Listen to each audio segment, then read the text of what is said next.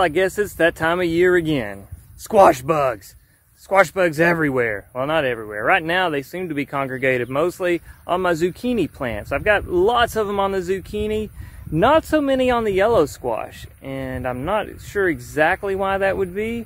I have a couple of ideas. It may just be that they prefer zucchini a little bit more than yellow squash, or it might be because I haven't quite made it this far in weeding the garden, and so this is all grown up, and it gives them lots and lots of places to hide.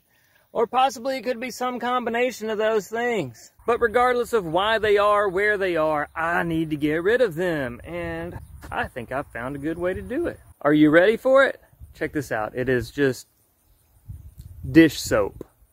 Now, when I first started reading about this online, I thought to myself, man, that can't be right. It can't be that easy. It can't be that easy. Everybody complains about squash bugs. If it was just as simple as some dish soap, they wouldn't be an issue, right? Then I started to think more, and it works on wasps. If you're ever having trouble with wasps around the house, man, just mix you up a nice concentrated solution of dish soap and water, heavy on the dish soap, it'll knock those things down as fast as the good commercial stuff. You know, you go to Walmart and you get the good expensive commercial wasp killer and it knocks them down and they're dead within like 10 seconds. You get the cheap stuff and you spray them, they fly around for about five minutes and then they, they kind of slow down and then sometimes they get up and fly away again. Soapy water will kill them as well, if not better, than the good wasp spray that you get at Walmart. So here's what we're gonna do. I've got my little spray rig here. I've got about two gallons of water in here. And uh, from what I read online, it seemed to be about a tablespoon per liter of water. This thing has, it holds 7.6 liters, so I'm seven and a half tablespoons or something. I don't know. I'm just gonna go for it. What's this? We're gonna just we're going to use a whole bunch of soap. I like to go heavy on the soap. And instead of, you always see people saying Dawn. I don't think that matters. I picked up Ajax Ultra and it says Super Degreaser. That's something that's pretty important. We'll talk more about that as we go. I got this stuff at the Dollar Tree for a buck.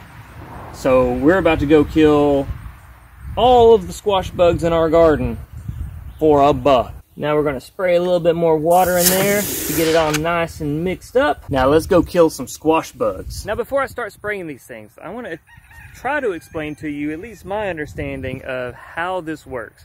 So bugs, they don't breathe like you and I breathe. They don't have lungs, they don't inhale and exhale. They have these little holes in some places in their joints, depending on the, the, the type of insect. But air kind of moves into their body through their through those holes called spiracles. And they can force air to go in and out of their body whenever they flex their joints or or whatever. But they also have this oily kind of waxy coating over their exoskeleton that so uh, when water hits them it just kind of beads up. Maybe you've seen this before. You've seen a bug or an insect and there was just, the water was just beaded up on it and that's the reason for that there's a waxy coating and that's super important for them because it keeps water from going into those little spiracles and drowning them.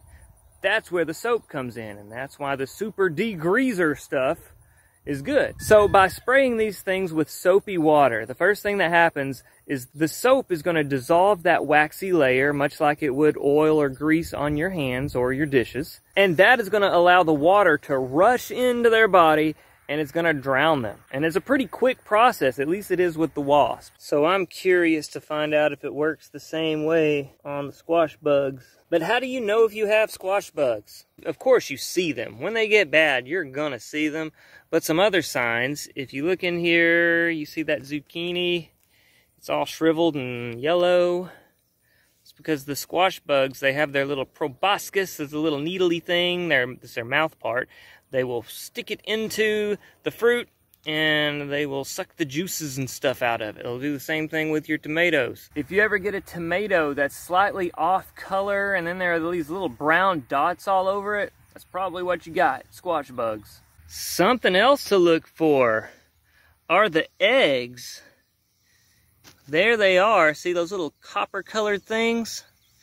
Those are your squash bug eggs. Now these are on top of this leaf Generally, you're going to find them on the underside of leaves. So when you see these things, you definitely want to get rid of them. I'm just going to squash them. Um, I've read that you can just take them and toss them onto the ground and then the beetles will find them and eat them. I'm just going to squish them. Be double sure that I got rid of them. Now, I just saw something else that I want to point out. I'm going to try and do a video on these guys at a later date You see these in your garden, uh, kill them with fire.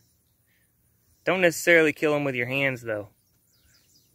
I'll explain why in a later video. Now I'm ready to get in there and start spraying these things and see if it works, but I'm not gonna. Not until you get down there and hit that thumbs up button and subscribe if you haven't already. You did? All right, let's go. Now generally I would just want to spray these things and spray and spray and spray and just kill them all and not worry about it. But for science sake, I would like to capture so I can watch. So we're gonna pull this leaf. These are the little babies. Notice that they have black legs, kind of a bluish gray body. And these get bigger. You'll know when you find an adult because it's gonna look like this. But I'm gonna put this thing down in a spot where I can see it. I wanna see if it kills these. I've got my sprayer on shower function. Let's see what happens here.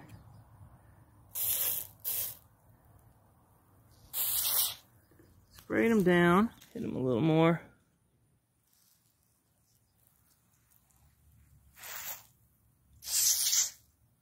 There we go. We want some of that soap. The soap is the magic.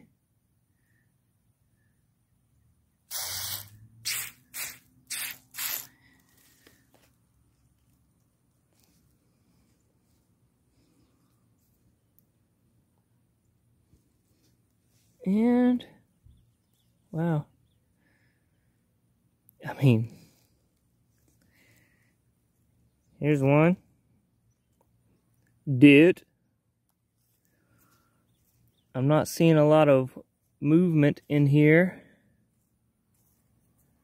Man, there's one. Dude. Here's one that's still moving.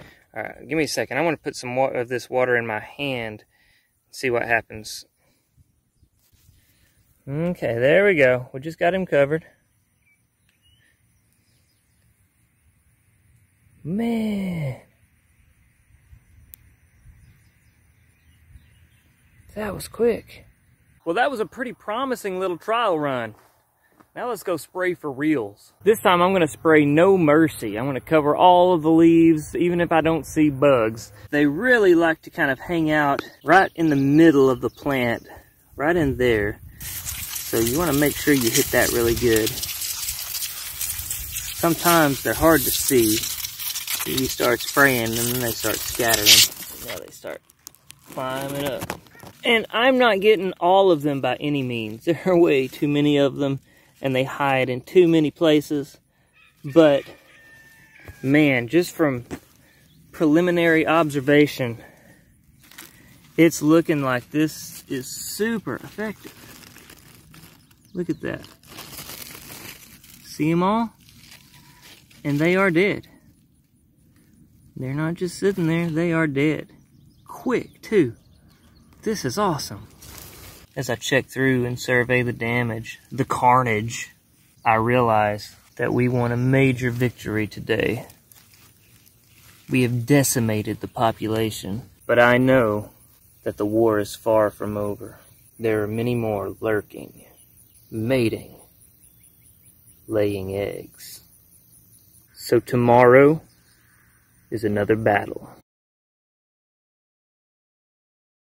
I am shocked at how well this worked. I mean, just soapy water and it's taking out those squash bugs like nothing. I really hope this video has helped you out. Man, if you are currently infested with squash bugs, try this soapy water just dish soap something that's good for degreasing and, and it'll knock them out now it's going to take me several applications because i've got them pretty bad and they're really good at hiding so i'm probably going to have to uh, get rid of the weeds that's going to be step one and then I'm going to have to do several applications to get rid of the current infestation. And while I'm doing that, I'm going to have to watch for eggs, get rid of those so that we get rid of any future infestation. But we're going to get this. We're going to get it under control. I hope you've enjoyed this video. I hope it's helped you out some. If so, be sure to hit that thumbs up button and then you can click on one of these right here for more daily sustainable living.